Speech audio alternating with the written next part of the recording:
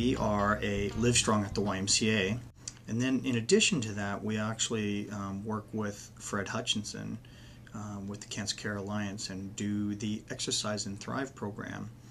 And currently, we have two classes that are going on one here at the Briggs Y um, and the other at the Downtown Olympia Y. Um, what we try to do is, you know, run them through a variety of different courses, um, cardiovascular training, strength training, and alternative types of things that they might be able to use at home or in a park, um, different disciplines in exercise, and also to open them up to possibilities at the Y. We have um, some Tai Chi, Pilates. They, we've had a nutritionist come in. And so that's And, why they uh, didn't keep up with Um, the so time. this is So they exposing lost. them to all the different possibilities of things that um, one could do.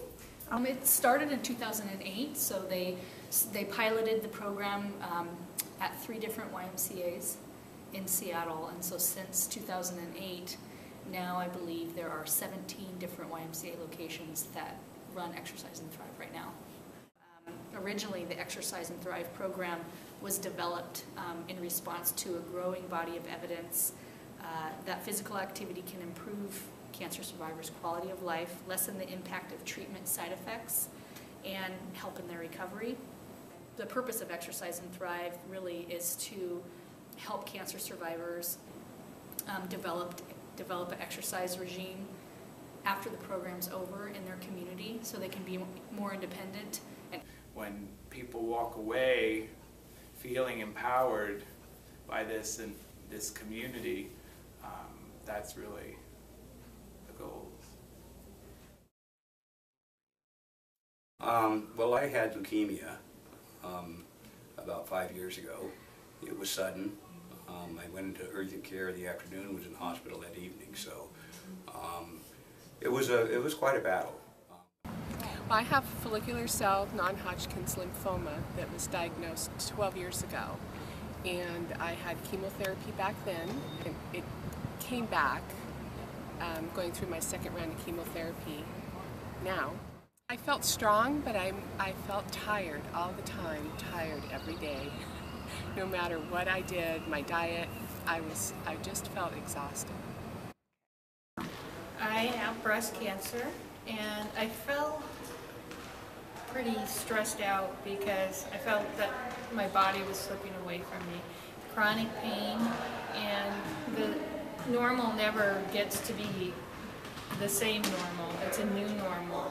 But that normal was really stressing me out because I couldn't uh, relate to my body image very well and I uh, was depressed and sore. And because I was sore, I didn't exercise. I came in with skin cancer.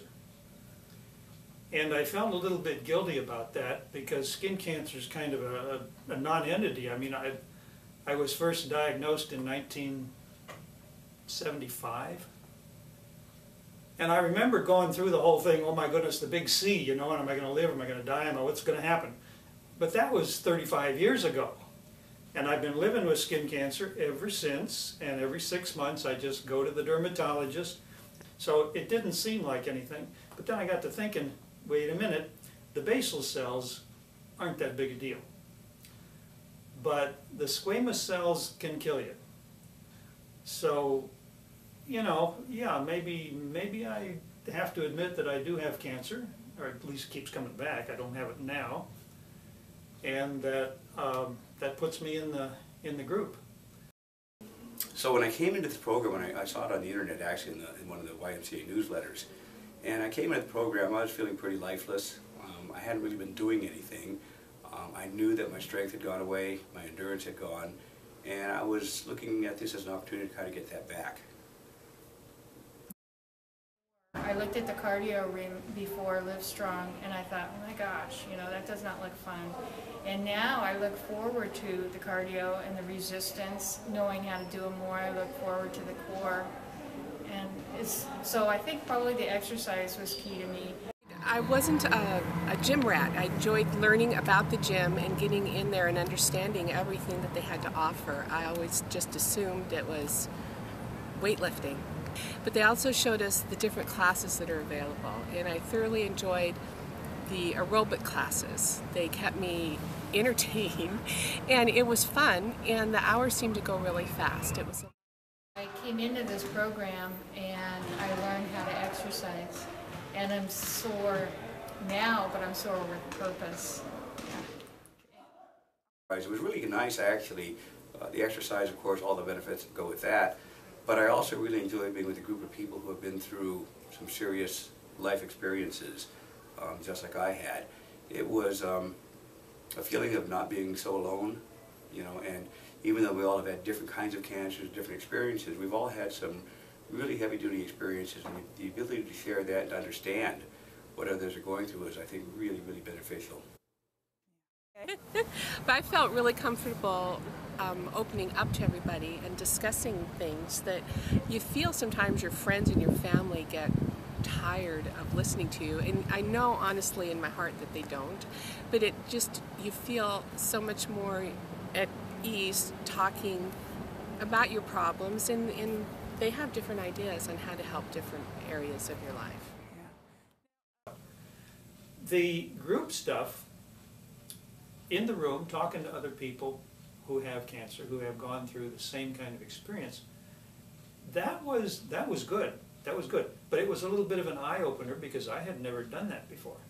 And I suspect that, you know, maybe nobody in the room had done that before. It's like a little support group there.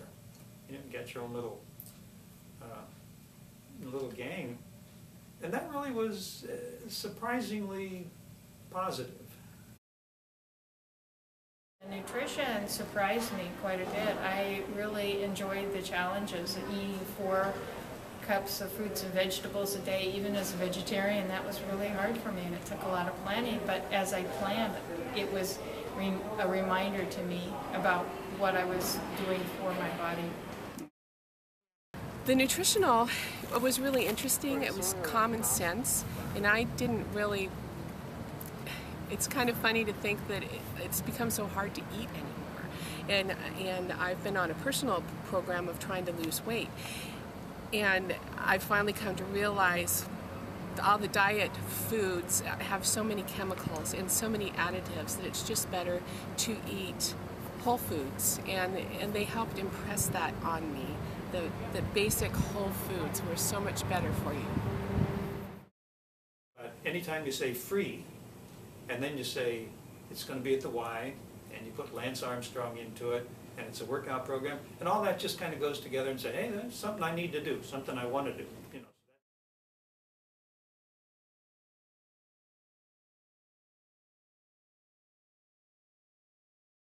Actually, I, I dropped my membership, and so the free membership really helped to bring me in. the free program was a huge factor in getting me in there. And I didn't feel right, you know, having one more expense. And when I saw the flyer and it was free, I jumped at it. I mean, I literally called the coordinator at the Briggs Center and I phone stalked him to get him to return my call. I wanted in the program and it was free and I just knew it was something that I could proactively do for my mind and my body as opposed to showing up to chemo every day and having people do things to my body. I was actually felt empowered to do something to improve my health. Do it.